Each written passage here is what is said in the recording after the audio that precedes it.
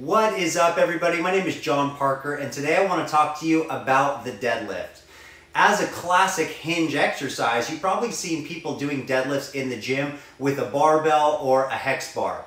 Now, a lot of my clients train from home gyms like where I am right now and will use things like kettlebells to get that same training effect. Now, I've done a lot of deadlifting in my past and I've also developed a lot of back pain as a consequence. And it's not that I didn't have stellar form in the deadlift, it's just that over time lifting heavy loads, and we're talking about two times body weight, two and a half times body weight, three times body weight, you might start to develop some pain. So I'm hoping that no one out there has low back injuries to this point, but I wanna show you my favorite variations of deadlifts and those are with kettlebells, either a single kettlebell or two kettlebells. So I'm gonna show you some variations of this exercise and why I like them. All right, guys, let's get started with two kettlebells in a deadlift position. Essentially, you are setting up the same way that you would set up for a single kettlebell deadlift. We want those handles lined up with the arches of the feet. Now, the problem that I see with most clients is the shoulder blades start to migrate forward. That could be from the weight or it could be from a lack of shoulder stability or mobility. So try and bury the armpits. Keep those lats super, super tight as you're going through the exercise. Uh, burying those armpits and keeping the lats engaged will be the key to keeping those shoulders in good position. Now, the same exercise from the side view. Really notice how I'm pushing those hips back on the exercise. If you have those shoulders in the down and back position and the lats are engaged, make sure those dynamics are going so the belt is up and down only. It's totally vertical. And I accomplish that by having a minimal knee bend, but really making sure to push those hips back on every single rep. Really drive them back. Okay, equal pressure through the entire foot on every single rep. All right, so we're going to be moving on to the suitcase deadlift. One of my absolute favorite variations because I feel like the utility of this exercise is so high. Now, on this exercise, it's really fantastic because you can bend the knees a little bit more than the in between the leg version. This really helps out for those who are having difficulty engaging the lats or engaging that hip hinge pattern, and they need a little bit more squat out of that first movement. Now, it's not technically a hinge. If you are bending those knees too much, it's turning more into a squat. But I kind of think of this exercise more as a hybrid.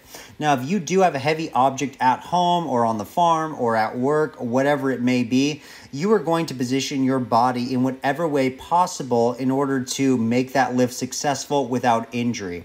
So I'm able to go into a deep hinge on this exercise without much knee bend, but in the beginning stages, I think that it is okay to have a little bit more knee bend until you can really hone that hinging pattern.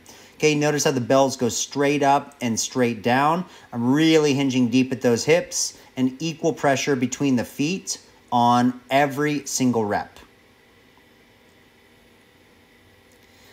All right, we're gonna move on to my absolute favorite exercise, the single leg deadlift. Starting with that side view, I want to show you how far I push those hips back, and I'm really counterbalancing with that opposite leg. I'm just doing five reps aside here, but all the same rules apply. Really making sure to bury those armpits, those lats are engaged, everything in the posterior um, chain is engaged, and I have minimal knee bend on this exercise. I'm not trying to turn it into a squat. So now let's look at it from the front view.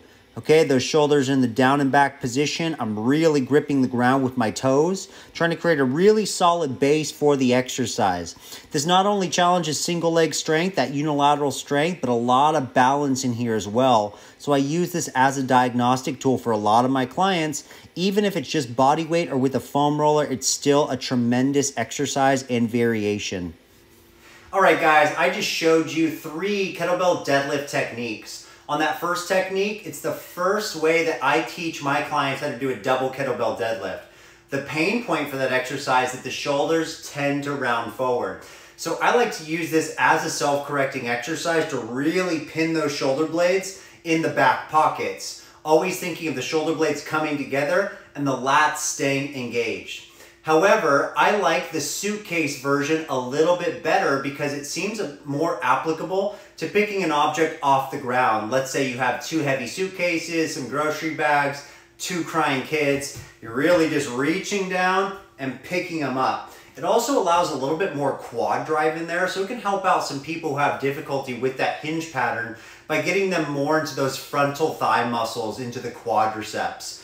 Either way, both of those are great hinge exercises. Now for me, since I'm almost retired from barbell deadlifts just because of the soreness that they bring on for days to come, one exercise I really like to use to scale the deadlift is that single leg deadlift. And I like to load it up with two kettlebells. I have pairs of kettlebells like in my arsenal of equipment some people may not. It is totally fine to use two different size bells as long as they're somewhat close in size. And then halfway through your reps, make sure and switch those bells, uh, switch the hands that you're using so you're getting an equal pull of the muscles on each side.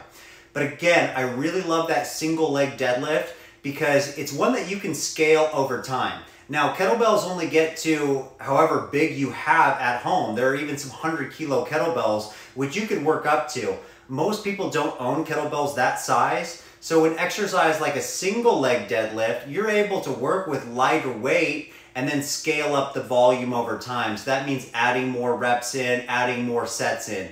If you have sets of heavy kettlebells like I do, like double 36 kilogram kettlebells, you can get a great workout with something like a three by three or a five by five protocol. So single leg deadlift is very scalable. You're not going to run out of uh, growth with that exercise like you may with a two uh, kettlebell deadlift in either the in-between version or the suitcase version. So those are some tips on the kettlebell deadlift that I wanted to share with you guys. It's one of my favorite exercises for the hinge pattern. Again, if you do not want to lift a barbell or a hex bar, I recommend that you use the kettlebells to do it. And in a future video, we'll talk about my other favorite hinge exercise, which is the kettlebell swing and all of its variation. So I see these guys as very interchangeable because you can make tremendous progress, always adjusting the intensity, the volume, and other parameters in your workout, like your rest period. So I'm gonna get to my own workout. Just wanted to share that with you guys.